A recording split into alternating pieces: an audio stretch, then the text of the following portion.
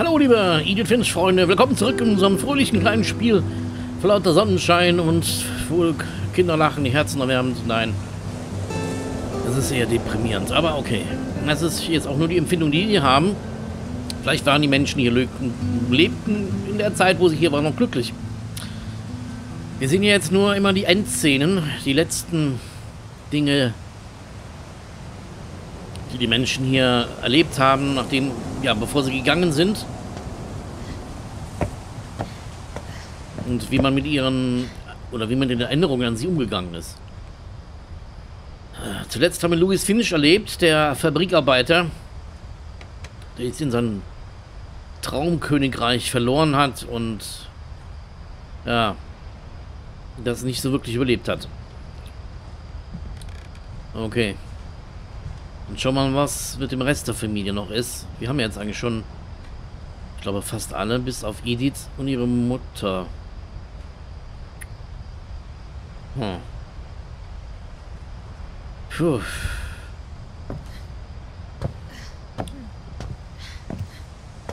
Und dieses verdammte Haus da hinten.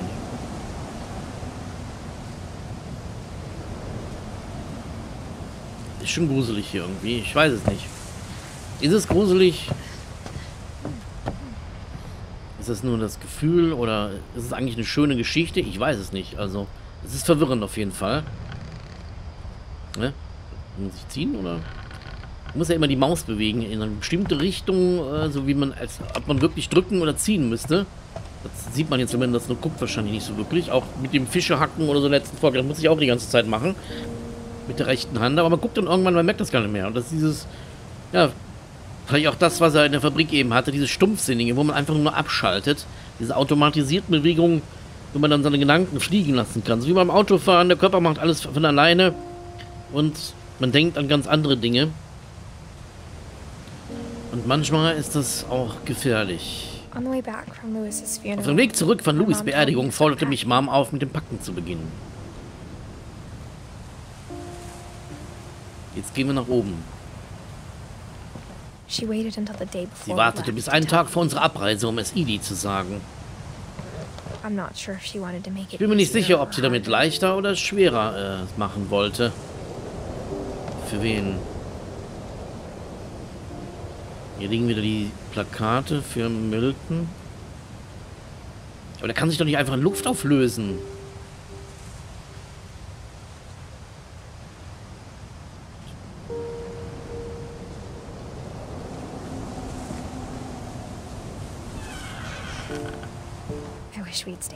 Ich wünschte, wir wären geblieben.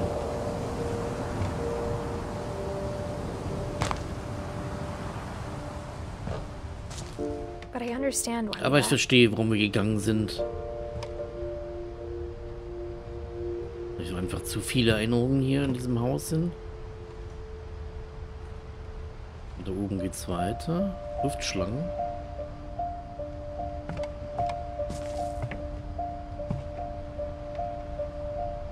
Edith Mom. Kühlschrank. Kindergekrakel. Eine kleine Küche hatten die sich hier eingerichtet.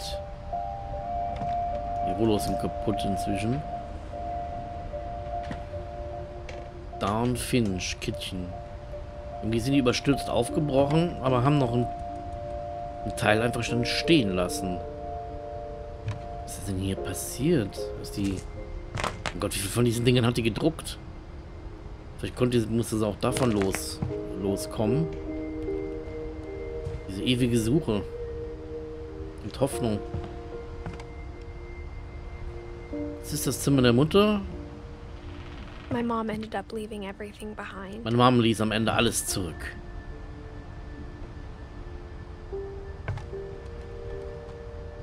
Also die Glasarbeiten hier sind ja auch teilweise äh, extrem hier. Wer baut hier heute so ein Fenster noch?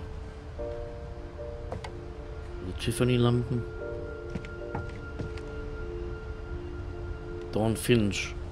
Grandmas. Erinnerungen an die Großmutter. Happy 90s. Hä? Scheint die einzige, die wirklich alt geworden ist. Die einzige Frau, die alt geworden ist hier in diesem Haus, glaube ich. So, hier, ihr Helferausweis. Das hat schon Erinnerungen an ihren, an ihren Mann. Sanjay Kumar. Das in Indien gewesen ist.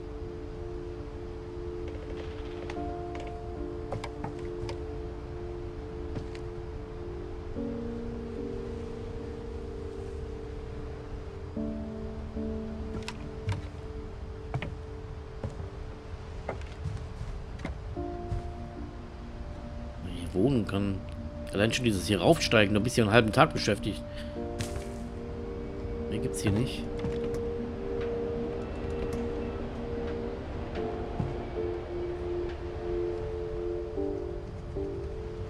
Gibt keine Erklärung hier wirklich.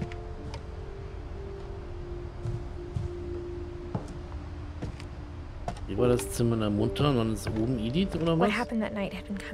Was in dieser Nacht geschah, hatte sich schon lange angekündigt. Stufen hier.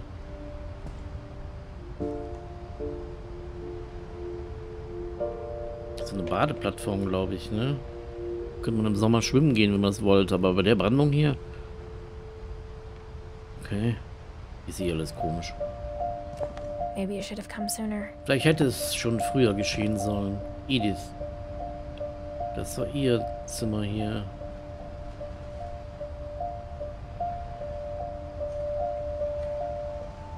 Papiervögel. Leuchtsterne. Und ein Drachen aus Pap Zeitungspapier. Kreativ sind sie alle. Aber es muss ein Ende finden, so oder so. Jetzt blieb nur noch dir von der letzten Nacht zu erzählen.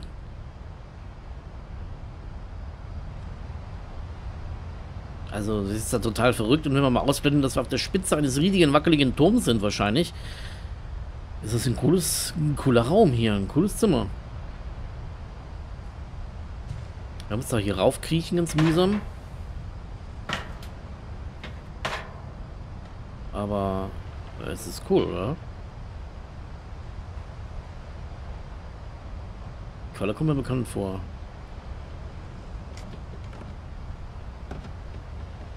Ach, diese Kugel macht hier diese Muster an, an, an die Decke. Ah. Die Bücher hier farblich sortiert. Wer macht denn sowas?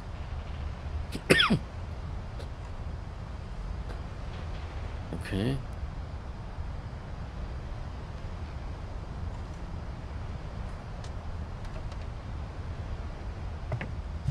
Jetzt muss sie kriechen, oder? Ja, auf Händen und Füßen. Sieht aus wie die Figuren aus dem Traum von ihrem Bruder. Dieses Schiff.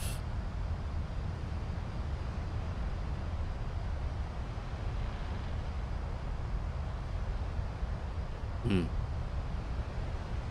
Wusste sie davon schon als Kind? Das ist ihr Haus aus Pappe oder ja, Zeitungspappmaché. Oder? Nachgebildet. Gern gebastelt. Happy 90s. Ein Bild aus Indien.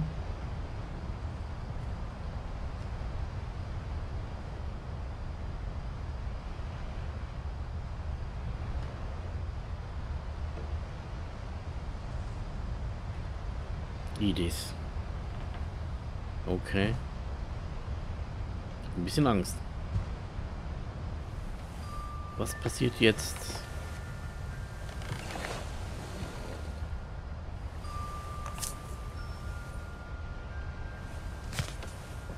Edith Finch. Den ganzen letzten Tag schaute uns Edie beim Packen zu und sprach kein Wort. Until supper when she Bis zum raised her glass Abendessen, and said, als sie ihr Glas anhob und sagte, auf unsere letzte. Nacht zusammen und all all die Nächte, die uns von da an trennen. Grandma, you know what I Oma, du weißt, about dass ich dir zum Alkohol gesagt habe. Einige deiner Medikamente sind sehr speziell. Edith, im Flur wartet ein Geschenk auf dich. Schau doch mal, was drin ist. Die Erwachsenen müssen sich jetzt noch ein wenig streiten. I'm sorry, you're right. We're all es tut mir leid, du hast recht. Morgen fahren wir. Lass uns unseren letzten Abend noch... Ich fahre nicht Edith, mit. Edith, du kannst jetzt gehen. Das war das letzte Essen, was wir gesehen haben, als wir zum ersten Mal ins Haus kamen. Was da alles auf dem Tisch rumstand. Ja. Jetzt sind wir in dieser Erinnerung im Flur. Der Strom war an diesem Morgen ausgefallen, aber Edie hatte immer jede Menge Kerzen. Über diese kleinen Sparrows hier. Ja, Kerzen braucht man hier auf jeden Fall.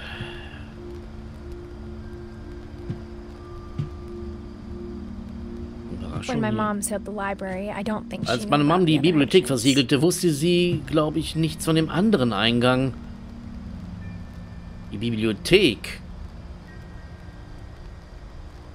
Ist das das Geschenk? Oder dass Edie einen Schlüssel dazu hatte?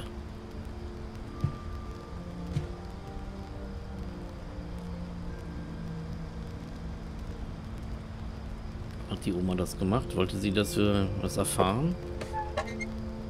Okay, jetzt sind wir eine jüngere Edith. Oh ja, was das eigentlich hier? Aber hier sind auch überall Kerzen. Das ist nicht ein bisschen riskant? Wir müssen eine enorme Feuerversicherung haben. Das, wovor du Angst hast, wird mit Verlassen des Hauses nicht vorbei sein. Das kann sie von hier hören. Edith has a right to know these stories. Deine Geschichten haben meine Kinder das Leben gekostet.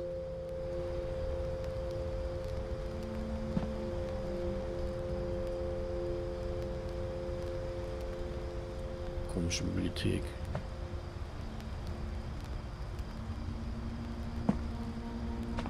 Hier ist ein Bett. Oder was ist das? Ja. Bibliothek.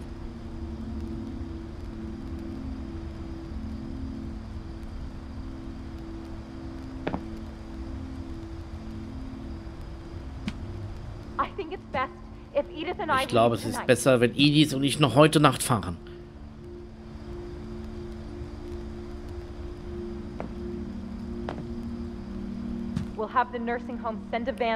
Wir sorgen dafür, dass das. Altersheim morgen früh noch einen Wagen vorbeischickt, okay? Uh, die haben sich aber echt gestritten. Odin. Field of People. The Houses, Milton, Lewis.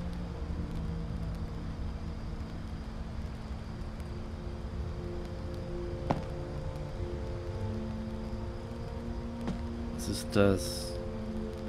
History of the Finches bei Edie Finch. Ein gebundenes Buch.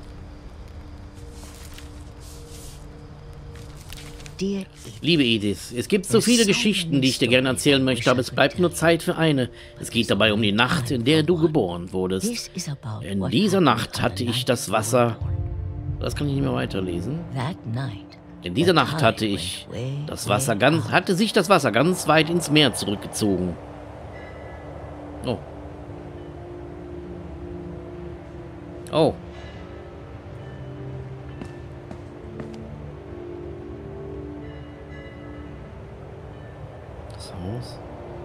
Ein Fenster beleuchtet. Es war das erste und letzte Mal, dass ich das alte Haus auf dem Strand stehen sah.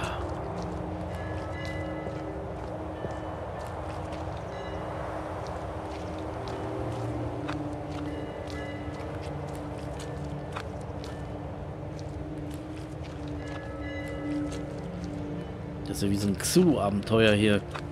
Vielleicht kommt ein großer Kraken an. Hier runter?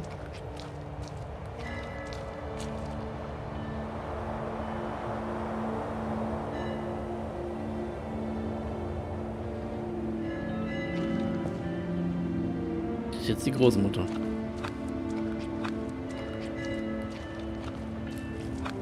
God, it smelled awful. Meine Güte, es stank fürchterlich. Weißt du, ich habe dieses Haus jeden Tag meines Lebens gesehen.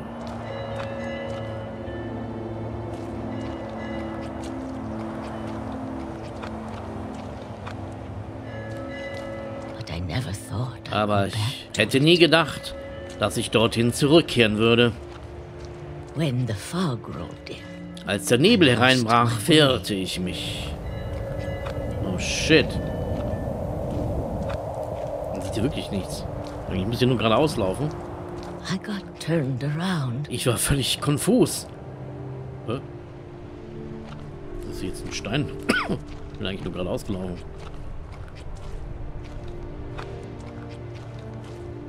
Man sieht den Schlamm nicht vor Augen hier. I started seeing things. Ich begann Dinge zu sehen.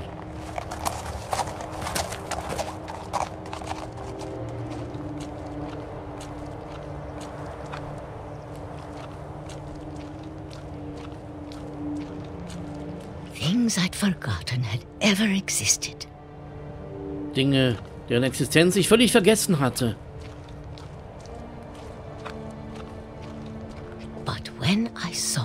Aber als ich sie wieder sah, waren sie wie alte Freunde. Das alte Betty oder was? That night, a lot of things came back In dieser Nacht sind viele Dinge zu mir zurückgekehrt. Or maybe Oder vielleicht kam ich zurück zu ihnen. Das ist eine Boje.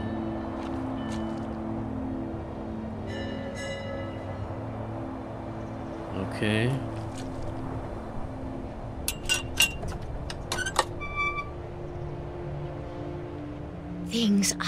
Dinge, die ich nicht erklären kann, aber die du irgendwie versuchen musst! Zu Mom, verstehen. Mom, zu reiß sie, lass sie los! Ich schlug um mich und schrie. Aber Mom schliff mich zum Auto. I never saw Great Grandma Edie again. Und ich sah Urgroßma Oma nie wieder. The next morning, the van came Am to nächsten Morgen kam she was sie, um sie abzuholen, aber sie war verschwunden. After that, we moved Danach sind wir viele Male umgezogen. Oh, was kann ich machen? We both tried to make the best of it. Wir beide versuchten das Beste daraus zu machen.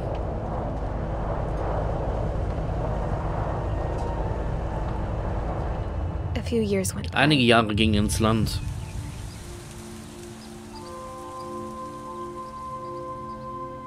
Jetzt kann ich drehen.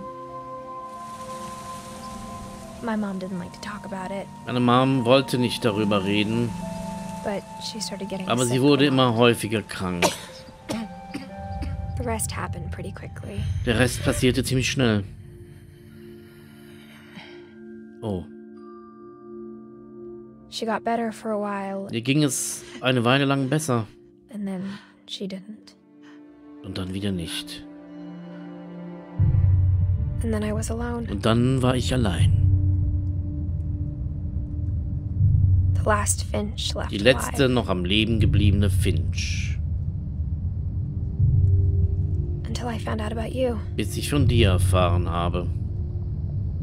I'm still not sure what to Ich weiß noch immer nicht, was ich über all das sagen soll. Wenn wir ewig leben würden, hätten wir vielleicht die Zeit, alles zu verstehen. Aber so wie die Dinge stehen, ist es wohl das Beste, einfach unsere Augen offen zu halten. Und zu erkennen, wie seltsam und kurzweilig alles ist.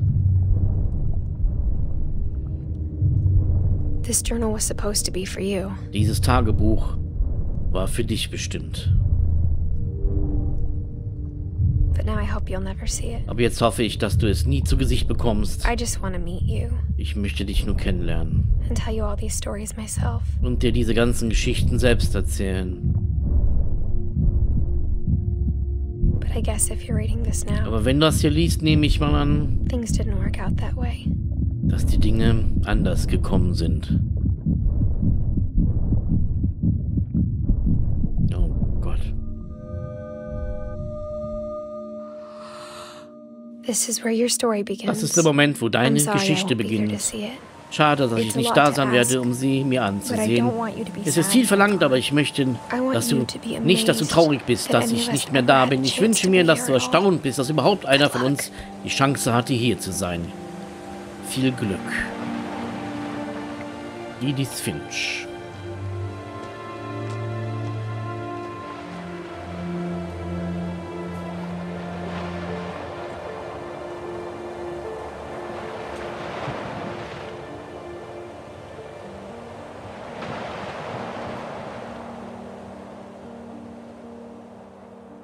Ja.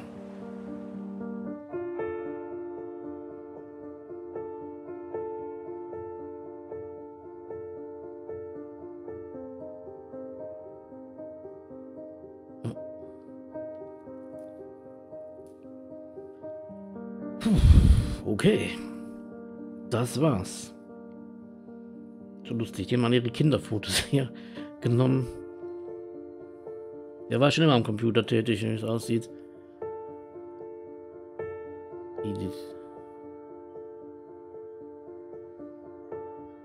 Haben die aus diesen Kinderfotos auch Inspiration genommen. Hm. Gameplay-Programmer. Sah nicht sehr glücklich aus. Ah. Die Fantasiefiguren. Milton.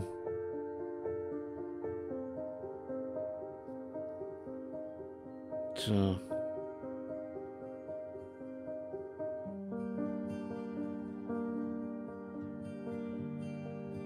Das ist ja eine Geschichte.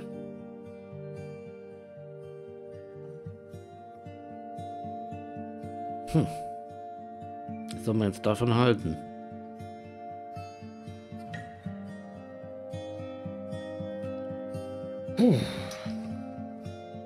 Das war die Geschichte der Finches. Und einer ist noch übrig.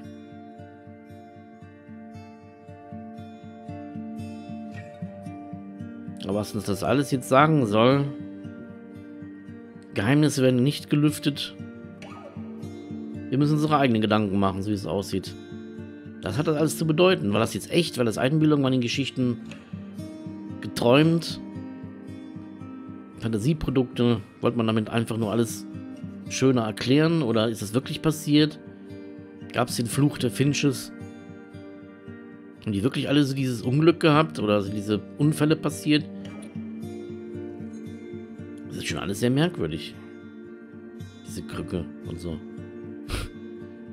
Halloween.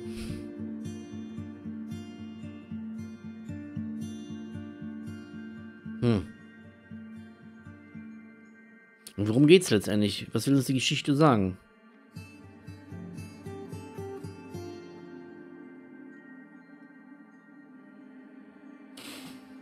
Ja, nicht so einfach, diese, dieses Spiel, wenn man das so Spiel nennen kann. Man kann ja nicht so viel interagieren. Teilweise ist alles vorgegeben, so ein bisschen. Ähm, kann ich überall jetzt frei hinlaufen.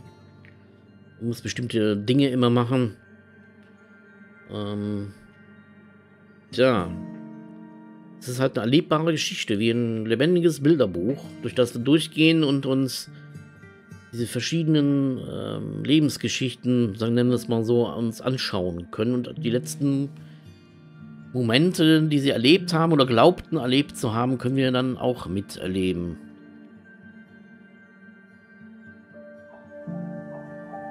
Das ist ein, ja, ein erlebbares Abenteuer, was wir hier jetzt gespielt haben.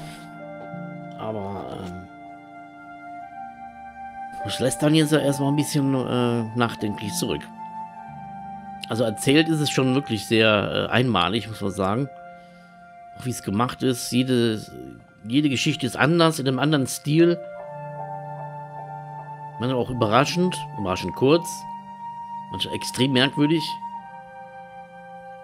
Aber irgendwie kann man es auch alles nach, nachvollziehen. Das ist das Schlimme irgendwie. The End, ja. Wie bringt man das jetzt alles unter?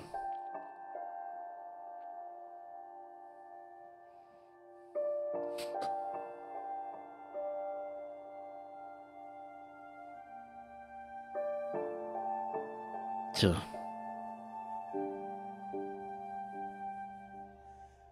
Die, die Großmutter ist auch einfach verschwunden, Edie.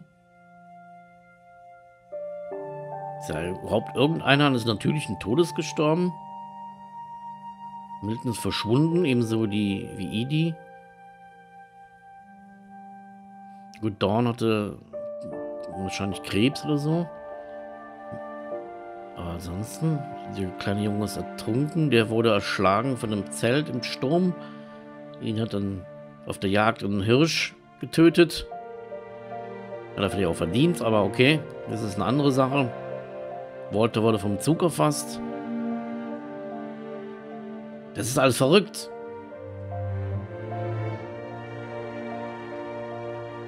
Worum geht's hier? Worum, worum, wie geht man mit den ganzen Verlusten um? Vielleicht ist das die Geschichte dahinter?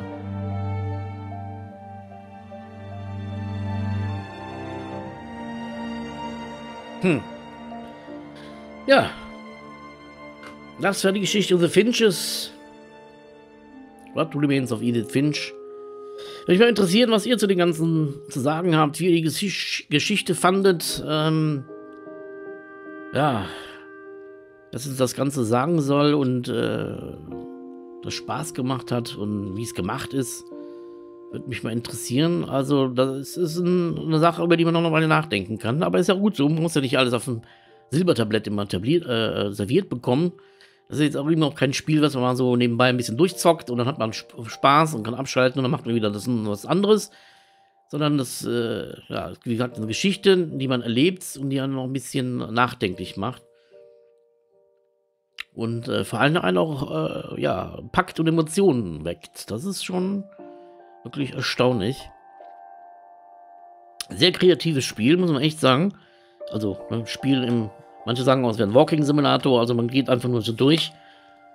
Und äh, das ist alles, aber was man dabei erlebt, ist ja schon teilweise heavy. Hm. Ja. Gut, das war's. Dann äh, schreibt mir gerne in die Kommentare, was ihr jetzt zu dem, von dem Ganzen haltet, was ihr dazu denkt, wenn ihr wollt.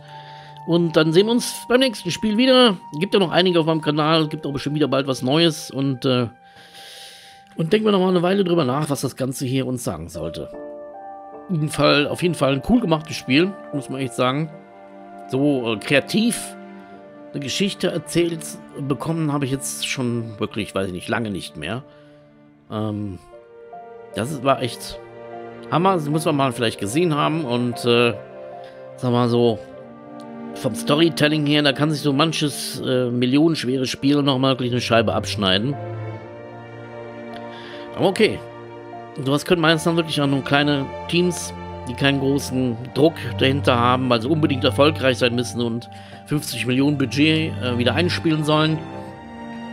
Und dann kann man auch mal was riskieren, einfach was machen, wo man Bock drauf hat. Jo. Dann würde ich mal sagen, vielen Dank fürs Zuschauen. Bis zum nächsten Mal. Bye, bye. Passt immer auf, wenn ihr auf Häuser geht, die 98 Stockwerke haben, die übereinander gebaut wurden. Das ist nämlich verdammt merkwürdig. Bye, bye.